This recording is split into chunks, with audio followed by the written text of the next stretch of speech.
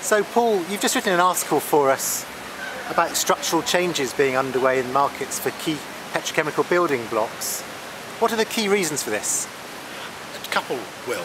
The first one is changes taking place around us. And by around us, I'd summarise changes in refining, uh, operating rates, changes in supply demand for crude, and then in our own business, things around changes in demographics and therefore actual demand for our products. So if you take those two fairly big sets of changes and they're all happening at the same time, it creates quite a lot of additional complexity compared to what you might call the sort of certainties that we used to have to guide us in the past. Okay. Which product groups have been most affected by this? Interestingly, it's been the, the biggest ones, the petrochemical building blocks. So it's ethylene, propylene, benzene and paraxylene together with butadiene.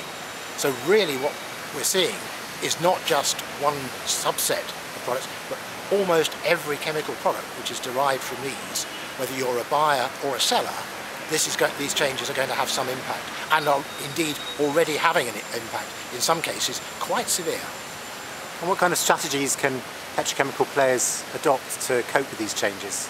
Well, if we look at the kind of changes that are taking place, well, what we see is that in refining, for example, operating rates for refineries are very much lower than they were.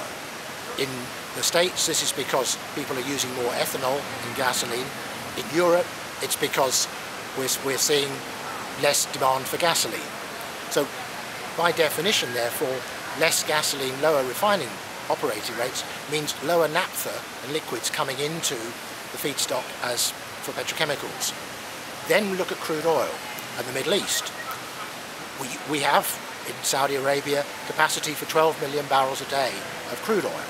But Saudi, because there isn't demand for that crude, is only running at about two-thirds of that capacity. So only two-thirds of the ethane, because the ethane is associated with that oil production, only two-thirds of that ethane is available. Mm -hmm. So in the, in the West, we've got a big change taking place because of refineries and gasoline changes. In the Middle East, we've got one because we've got a slower economy. And of course in Asia, we've got disruption going on because China is increasing its output. Ethylene production this year by Sinopec up 40% over last year. Now, demand hasn't increased by that amount, therefore other players in Asia, particularly Northeast Asia, are having to cut back in order to rebalance.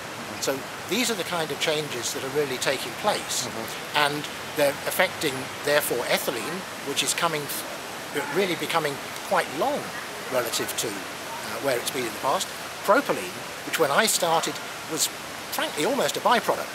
It was selling at 60% of the ethylene price, is now selling above ethylene yeah. in many markets.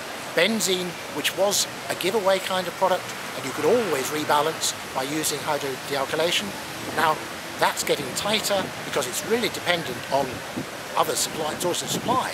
And so if demand goes low, it goes very long, and the spreads are increasingly volatile.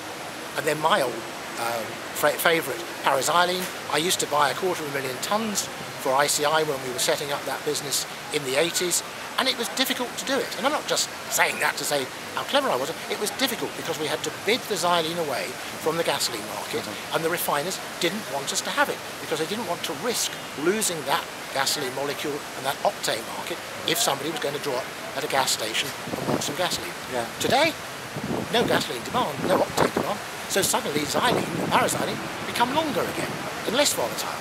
So all those major products have really reversed themselves in terms of supply-demand balances, and it's all happening in the space of you know, a, a sort of a few months really. What, what, what, can petrochemical producers do to try and adapt to these uh, volatile times? I think what the only way we can move forward is to go back to the tools that work well for us in the days when there was volatility before, and I'm meaning there particularly the 1970s. Um, Shell in particular uh, pioneered the idea and popularised the concept of scenario planning. So you have a base case, and then you have an upside case if things went particularly well, and a downside case if things didn't go so well. And I think that's a very good way. If you're not in control of what's happening, And we're not. You know, just to take Europe and uh, ethylene and benzene, for example, gasoline de demand and supply in, uh, in Europe is about 160 million tonnes, compared to 20 million tonnes or so for ethylene, compared to 10 million tonnes or so for benzene. So really, a small change upstream on refining has a magnified effect on us. Mm -hmm. One other area that we haven't talked about particularly, but I think is going to become increasingly important, is the demographics, the aging of the baby boom generation. Yeah. Those of us who were born after the, the war, we saw in the UK, for example, 900,000 births a year for 20 years, up from 730,000 pre-war, and then we came back down to that 730, 750,000. So as we baby boomers moved through the 80s and the 90s, and we reached our mid-20s, our 30s and our 40s, so we consumed a lot because we were marrying, we were settling down, we were buying houses, we were having children, peak consumption years. Now we're all moving into our late 50s. We don't need all these things anymore. So again, this is something that's happening to us in petrochemicals. We're not in control of it. And we have to sit back and we say, well, how might these demographic changes play out, particularly in the context of the macro changes I was talking about in terms of refining operating rates, crude oil demand, the rise of China, all these areas where there is legitimately room for doubt and there is going to be endless debate. Anybody who could come up with the right answer for the next five years and implement it well will make a fortune. For lesser mortals, I think, like ourselves, who take a few best guesses and then see what happens. Scenario planning, I think, is the only way to go. Thank you very much, Paul. Thank you, Will.